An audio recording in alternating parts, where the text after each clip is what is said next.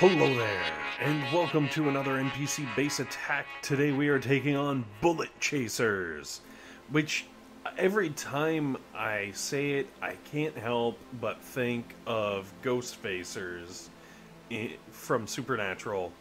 Um, if you've watched the series, you know what I'm talking about.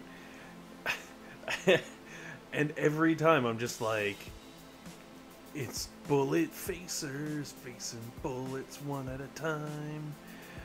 Also, um, for this, not not a lot of facing of bullets. Uh, yeah, basically land your tanks and everything else on the left hand side.